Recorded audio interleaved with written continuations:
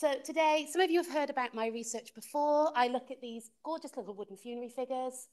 Uh, they look like a doll to a lot of people, but they're actually not. Um, we're quite unsure of their exact function. It seems there's something to do with sustenance in the afterlife. So these things are part of a bigger model. They get it put in a tomb and they magically come to life in the afterlife and provide the sustenance the deceased is going to need. Uh, this is now my third year of my study, so I've been traveling all around the country, collecting up all this data, and now I've had to figure out what I'm actually going to do with it. So I've been to 64 different museums and institutions. I'm looking at over 1,800 figures in total. So yeah, it's a lot. I have a mixture of provenance, proposed provenance and unprovenance figures. So in some cases, it will say it's from Thebes, but it doesn't say why the figure is thought to be from Thebes. Is that a true provenance? Is that something someone has thought in the past and not justified? Things get a little bit murky. That's what I'm hoping to clear up. So as I've said, they kind of provide sustenance in the afterlife. I'm trying to really quickly skip through this to get to the more fun stuff.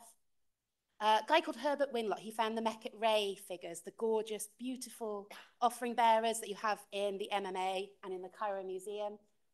He said these would have been played with during life by the grandchildren. They were little dolls' houses that the children would have played with.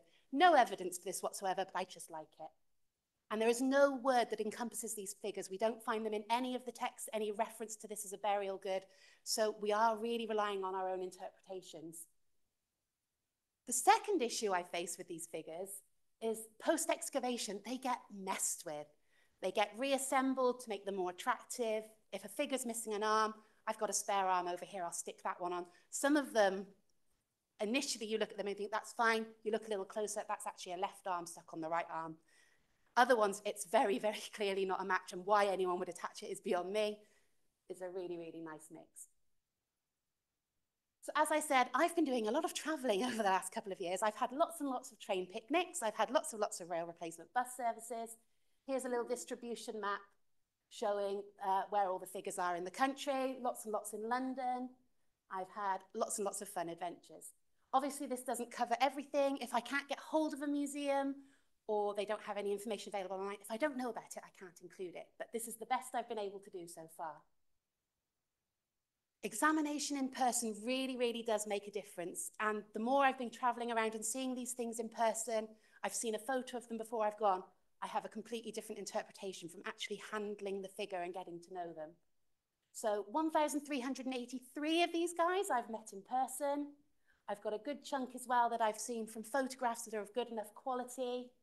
Some of them, I know they exist, but I'm not actually able to access them or get a decent enough photo, but I still want to include them just to give us a better idea of the corpus. And then there's obviously ones I don't know about, but I can't include those in the catalogue. As we see here, we have these lovely tomb labels as well, uh, museum labels as well. I've tried to keep a record of those when an object's on display because that also affects how these things are interpreted.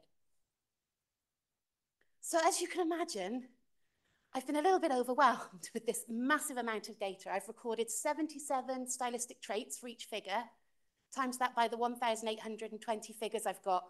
We're looking at a lot of data, and there's about six images for each figure as well, because I take a picture from every single side. An Excel sheet is not going to cut this anymore. It's really, really not going to work. Luckily, uh, as I was doing my MA at the Egypt Centre in Swansea, I was fortunate enough to work with them and build them a new online catalogue. So I've managed to reutilize some of this software for my own needs. So this is what the front page looks like. And as you can see along the top here, I've got all these little stylistic features that relate to each figure. So we've got hairstyle, eyebrows, the eyes, if we were to choose hairstyle, I can then break it down to which type of hairstyle. So in the case of this chap here on the right, he's got a flared smooth wig, but I can then go down a layer again and say it's a cheek length wig as well. So I'm really, really narrowing down and drilling into the data for easy comparison later on. It's also really nice, I can then search by these things. So for this example, I've pulled up all the images that have a cloak. There are 77 in total in my catalogue. And because you've got these images included, I can really easily have a look and see which one's going to match whatever I'm looking for. So now my big thing, the thing I'm trying to do is try and find provenance for some of these guys. I've got over a quarter where they have a known provenance. And by that, I mean I have seen the records of this figure. It's definitely come from somebody like Petrie or Garstang. So we know it's definitely coming from a good provenance. Some of them I've been able to identify by the tomb number, so particularly in the case of the Beni Hassan figures, some of them when you turn them over, they've actually got the tomb number written on the back. Garstang has his grave register, so I'm able to match the two up conclusively. I've been lucky enough to use some of the Garstang's archival photographs of the Beni Hassan excavations, for example. There's a few images from Sedment as well. In those cases, you can clearly see this figure is so unique, it has to be that one in that image. So that's really, really helpful as well. As you can see, I've had a good go. I've got 208 that I've proposed provenance for, and I'm going to explain to you how I did that in a minute. But this is still ongoing work. I've still got over 600 I'm working on. I've started with the nice, easy ones. Now I'm getting to the slightly trickier ones. So I've built a software tool called the Provenance, uh, the Profile Proposer. Lyra and I have had many, many discussions on what this tool is called, and we've tweaked it several times. We've come up with Profile Proposer. It breaks down into four key steps. First of all, I'm grouping the figures by their traits, then building up a profile that matches those traits, using all those stylistic traits, the 77 different things I showed you earlier, I can then match a figure with an unknown provenance or unknown origin to one of these profiles. And if there's enough within the profile, I can then hopefully restore a geographic provenance, or at least a likely one. So to break that down into a bit more detail, step one, I've got to group the figures by their stylistic traits. I tried to do this using the software. It was doable, but the amount of work going into the background coding was getting so ridiculous. I thought, do you know what? This is better done by me. I have traveled around, I've seen all these figures in person. I know them, they're my friends at this point. It's easier if I just get the images and look for the really, really strong resemblances. So you can see here I've got one from Swansea, one from Bristol, Durham, Ashmolean. Not identical, they're not identical twins, but they're certainly siblings. So I can start to group these together into a profile. Once I've got that initial group, I can start to look at all these individual um, stylistic traits in the figure. So this one, for example, has got that flared wig at the cheek length, an oval-shaped head, He's got triangular eyes, no mouth. For the colour of skin, I use a Munsell soil chart. Any archaeologists in the room? It seemed to be the right thing. I initially went to Homebase and started looking at their colour charts, but that got far too complicated. Soil chart's been the way to go for this. So even if I'm viewing these objects in a different light, I'm still getting that consistent result.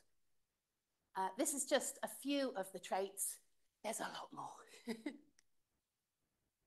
So once I've started to assemble these rough profiles, I then start trying to match figures of unknown provenance to them. So take the example of this nice chap here. He's from Edinburgh. The catalogue describes him as a erect figure of a servant. I really don't like that word. Of painted wood, ancient Egyptian. No other clues of where he's come from, how he ended up in the collection. Can we match him with some of our other figures? Yes, we can. The pro profile proposer pulls in all this data I've collected from each of the profile He's matching Deir al-Bahri type A with 100% accuracy. So I'm pretty confident he's probably going to be part of that profile. It will pull up the top three matches for me because obviously this is a computer, it's not an expert, it might have a little bit of error. So I can look at each of these profiles and see which one it's a match for. You can see the second profile it's pulled up is also Deir al-Bahri A, but it's a slightly different variant. These letters in blue, uh, so BAH is Bahri, A is type A. For the first one, we've got striding cropped which is the hairstyle and yellow skin. So we have slight variation in the profile because of a standing figure being bold. So if you're looking at a block figure, for example, the feet aren't going to be carved in the same way. So we have these variations within the profile to reflect these differences. And as I was saying, if possible, we then try and match the figure to a likely geographic provenance, or at least to a group that it probably belongs to. In the case of this profile for our Edinburgh chap, I had 15 figures in it. Nine of them are all coming from a very, very strong, definite provenance of Deir al-Bahri. So I'm pretty sure he's coming from there. In fact, most of them come from Tomb 3. I wouldn't be confident to say because obviously you're going to have the same people making things for different places. But Tomb 3 does have a lot of figures that are very, very similar. So it's probably coming from around the same time period, possibly coming from the same production site. And just a couple of examples of different figures and how I've been able to match them. So these are some of the squatting Deir al-Bahri guys from the same tomb. Uh, Bolton had one, uh, Bolton had two. Manchester, Bristol, Scotland and Dumfries were all unprovenanced, but because of the couple I had in the profile that we had a possible provenance for, I can start to group these things together. These are one of my favorite guys, these little squatting guys. I was particularly interested in this group. The chap on the right was part of my MA thesis when I was at Swansea, and he'd been disputed as a fake. An expert had been in and said, no, it's absolutely no way he's real. The way his eyes are drawn, there's no way he can possibly be real. I've popped him into the profile provider, and sure enough, he's got lots of little friends that match with him. So I can give him a likely provenance of Deir al-Bahri. So takeaways from my presentation so far. So far, the profile provider seems to be working. I've only done a small group. I've still got a lot more areas to go through. As you see, there's 600 I haven't even tackled yet. Hopefully it will continue to work. These profiles can be used to suggest a geographic provenance and the types of activities a figure may have undertaken. So for example, these guys here, they're all going to be rowers because they've got this hole coming through the position of the hands. By matching these tra traits together, I can start to say what type of activity they may have come from. Um, and they also help me to explore the dispersal of material as well. So the Deir al-Bahri ones I've shown you today, these seem to all be coming from the EES dispersal. So this helps to trace back where these materials are going, where they came from originally. Probably about 50% of them when I go through my catalogue are already acknowledged as coming from the EES, so I wouldn't be surprised if the others did as well. But I have to be really careful with these things. It just takes one figure to completely skew the balance and completely change all the interpretations. This is very specific to the UK corpus. I haven't looked at the material from the rest of the world yet. I'm not allowed to. I can see Lara shaking her head at me. UK only for PhD. Potentially, I can look at a few more a bit later on. But it's been really, really helpful to see where these figures have gone, where they came from originally, and you can start to track their life stories a little bit more. My main thing I want you to take away from this, although this tool is a really helpful tool, it is just that. This does not replace the expert I've only been able to put these profiles together by seeing so many in person and interacting with them. And still, the computer is going to get it wrong sometimes. You still need to look at them once they've been assigned and make sure it does actually match up with what you're wanting it to do. And I also can't say for definite that these things come from that site. They could have been produced at Deir al-Bahri and then actually interred at another site. So it, although it gives us a clue, it's never going to answer these questions. Once that dispersal has happened, once that history is lost, we can never fully replace it. But we can have a really, really good go at trying to put things back together as much as we can. If you're interested in tomb models, these are the best books to start with. Really, really recommend the Winlock one. Historically not great, but just a really, really nice read. And thank you so much for listening.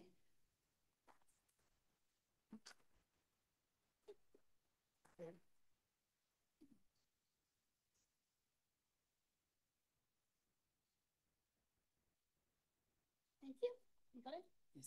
Uh, thank you, Sam, for the amazing talk. Is it on mute or am I saying stuff? No, you're saying stuff. Fantastic. cool. Um, does anyone have any questions for Sam about her sort of process, her approach to reconnecting these objects? Bente?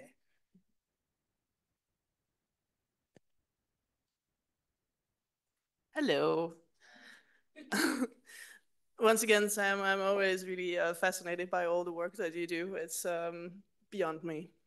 But I was uh, thinking when you do this profile proposer, which is um, a very interesting way of uh, grouping these things together, do you foresee that in the future you could use these for other um, artifacts, like statuary, for example, or other things? Thank you, Bente. Uh, yes, absolutely. One of, in fact, the final chapter of my thesis looks at future implications and ways this can be used as a case study of a new way of approaching these things. Typological study is something that gets frowned on sometimes in archaeological circles because you are forcing things into groups that aren't necessarily how the ancient Egyptians would have grouped these things. At the same time, we've got to classify them somehow. Museums want to put them on display in groups modern audiences want to see groupings of things. So I'm trying to do it in a way that's more justified. It's really, really frustrating, as I'm sure you know from your own research, when it says probably from the site of Meir or possibly came via Wallis Budge. And it's well, probably, but why are you saying that? And when you look at things like my funerary figures, they're all down as Middle Kingdom because most of the figures come from that time. So it's very easily, this approach could be transferred to other things. It could be approached as statuary, like you said. Uh, I've got a colleague who's working on Shabtis who might start to use some of this material as well. It's just, it's a nice way of starting your research and managing these really, really massive data sets where they're just trying to do it on your own with an Excel spreadsheet is just going to lead to migraines. It's not going to work. So at least this makes things a little bit easier, I'm hoping. Thank you for that answer. Uh, there's a question in the chat. Over to you, Valentina. Hi, yes, exactly. Thank you, Sam. It was uh, fascinating as usual. Uh, we have actually one comment. Brilliant talk. Thank you, Sam. And one question. Uh, some of the artifacts were wrapped. Uh, did you quantify how many were wrapped? Yes, so as one of my drop-down levels, I have whether linen is present, whether linen is not present, whether small traces are linen present, and also when you get to examine these things in person and you can really engage with them, you sometimes see the imprint of the linen as well. So you might have had linen wrapped around it originally, it's since been lost, but because the paint was still wet when it was applied, you can still see it was there. You also sometimes get wear marks as well, so around the hips and things where the linen has rubbed against the figure, that also helps as well. So I've recorded that. But obviously, if the linen is absent, that doesn't mean it was never there. And I know there were museums that removed it for aesthetic reasons and discarded it. I won't name names, but yeah, the absence doesn't prove that it was never there, but the presence can, and can prove it was there. But again, other museums add it because they think it looks nice. So yeah, I've recorded it, but I'm trying not to read into it too much. Thank you so much. Thank you. Thank you. Any other questions? Okay, we'll go over here and then we'll go.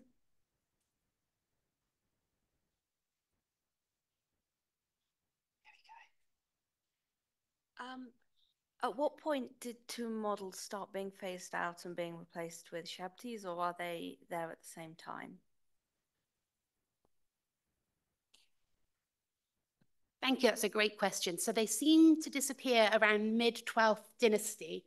But one of the things I'm arguing in my thesis is that we need to try and avoid some of these dating things. They get whacked around quite quickly. It wasn't the first intermediate period ended that day and then the next day it was the Middle Kingdom. It's a lot more fluid.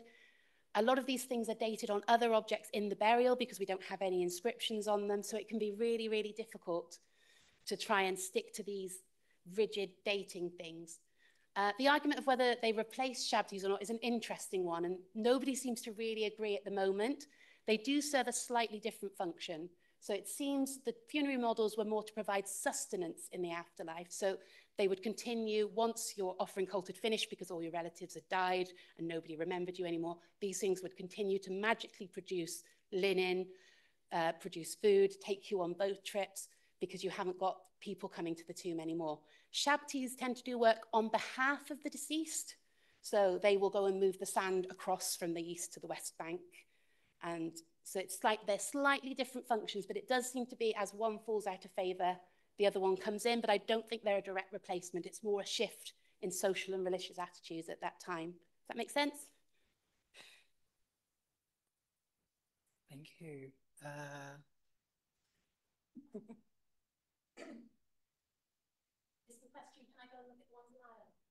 It's bet better than that. uh, well, thank you so much for that presentation. I really enjoyed it. I'm really excited about the possibilities and implications of your research and the um, software that you're developing as well.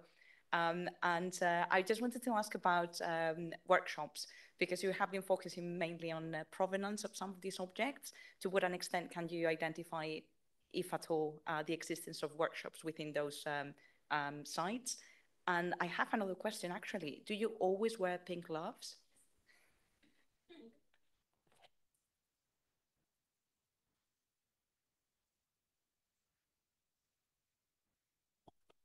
I'll answer the glove one first because that's the easy one. Yes, I always wear the gloves. Campbell Price kindly gave me the hashtag, hashtag pink gloves. So it's now become my thing. It's actually really helped when people have stolen my images on social media and you can see the pink gloves behind. If it's a pink glove, you know it's mine. Uh, talking about production sites, uh, Gassan Eshenbrema-Dima did a really fantastic study for her PhD looking at the production sites. I'm shying away from it at the moment because it is so difficult to say. There are no traces of where these things came from. We have woodworking places, but it seems perhaps these were produced from the offcuts of the coffins. The Egyptians did not like to waste wood because it was so rare. And when you look at a lot of these figures that are damaged, you can see the repairs done to them. So some of them are two pieces of wood jammed together with a little dowel in. They'll fill in cracks and things with paste to try and hide these gaps and cover it all up. But it's really, really hard to trace. You can definitely see in some of these figures, it's made by the same person. The resemblance is just so clear. But when we don't have the provenance of where the objects come from, it's even more difficult. So in most cases, it's impossible to trace. But yeah, I would point you to Gigi's work. She, she's the gal on that.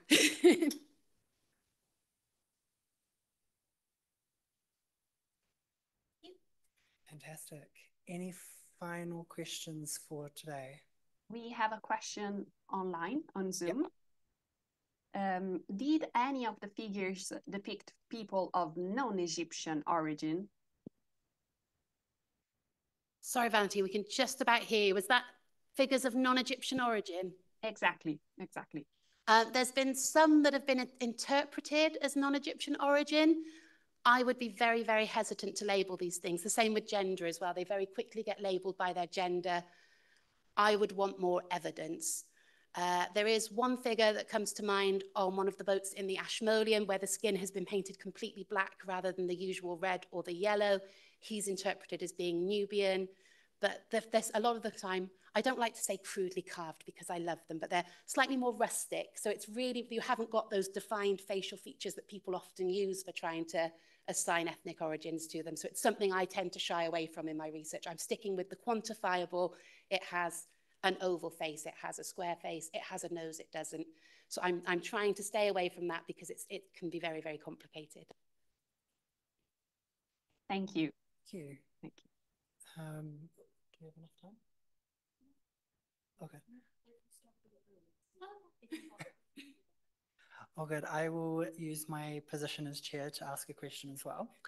Uh, the question I have is how, because I know from talking to you outside of the conference, how do you identify between fakes, pastiches, and real objects?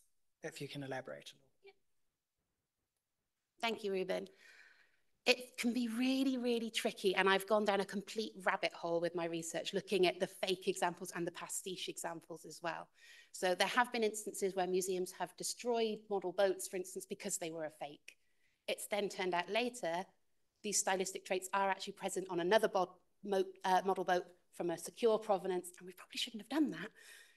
By the same time, things we thought were originally genuine, later turned not, not to be. You can do scientific analysis on these things. Oh, we've lost another poster in the room. um, you can do scientific analysis, you can look at possible dating and things, but it's quite a detrimental pro process to the object and the amount of data I'm going to gain by doing that analysis isn't really worth it for the purposes of my thesis. I did get advice from uh, a colleague who works at Cardiff in the conservation department, and he said, yeah, for the purposes of your study, you really don't need to be doing the damage to the objects. Also, I don't think many museums would be keen on me taking little samples out of their objects. Again, the handling in person is really, really important for trying to figure out fakes. If you've got an ancient piece of wood, it's a lot lighter than you think it's going to be because all the moisture has been drawn out of it. Whereas something a little bit more modern feels a little bit more heavy. You get used to the feel of the wood, that it feels right for something that's coming from that kind of origin. And a lot of it is just on intuition. When you look at a lot of these things that have been labeled as a fake, a lot of the time it is just on the uh, interpretation of the person viewing it. Uh, there's been a few in my corpus where they've been deemed as fakes by people who've examined them from photographs. When you get to see them in person, like the lovely one in the Egypt Centre, he actually has a really clear provenance. There's really clear parallels to that rower. He's genuine. It's just he's been touched up a bit. And this issue of touching up really, really does impede, particularly with the model boats. Uh, if I refer to Emily Whitehead's work, she is looking at solar barks at the moment, and so many of those have had the rowers are real, but the hull's fake, or the hull's fake, but the canopy is real, and they've kind of Frankenstein things together a little bit to try and make it more appealing to the audience, to the viewer, to the buyer. So it's an absolute minefield trying to get through these things. I know I'm never going to clear it all up entirely, But at least if we can be very clear with our justifications of why we think this is a fake or why we think this is genuine, hopefully future researchers won't then be scratching their heads in the way that I am.